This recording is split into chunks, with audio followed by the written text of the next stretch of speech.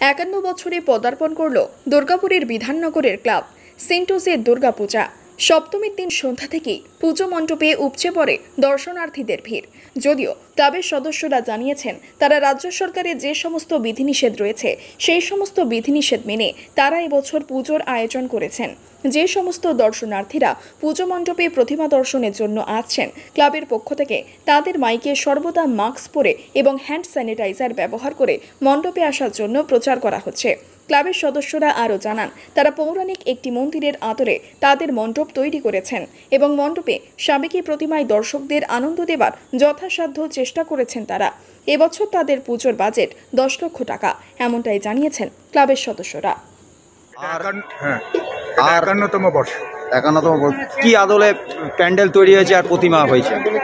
এটা একটা পুরনো মন্দিরের আদলে আমাদের পুরনো দিনের একটা মন্দিরের আদলে কাল্পনিক মন্দির।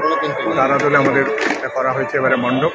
এবং প্রতিমা আমাদের সাবেকি প্রতিমা বরাবর আমাদের ডাকের সাজের প্রতিমা হয়, সেরকমই একটি প্রতিমা। এবং আমাদের অরুণ পাল বিখ্যাত দুর্গাপুরের, তার হাতে গড়া এই প্রতিমা আমাদের। প্রশাসন যে কোভিড বিধি মানতে বলেছে সেটা মান্যতা দিয়ে আমরা কোভিড বিধি মেনটেন করছেন? বা দর্শকদের কি বলছেন? পুরোপুরি সরকারি বিধিনিষেধকে মান্যতা দিয়ে সমস্ত রকম কোভিড প্রোটোকল মেনে আমাদের এই পূজা চলছে। আমাদের মণ্ডপের সামনে দেখতে পাচ্ছেন প্রায় তিরিশ ফুট এরিয়া জুড়ে আমরা ঘিরে দিয়েছি। তার বাইরে থেকে কেউ প্রতিমা দর্শনের জন্য মণ্ডপের মধ্যে প্রবেশ করছেন না।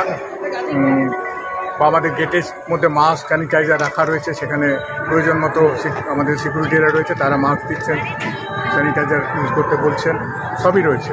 কত টাকা বাজেট রেখেছেন এবছরের পুজো? আমাদের এই বছরের বাজেট প্রায় দশ লাখের কাছাকাছি চলে গেছে।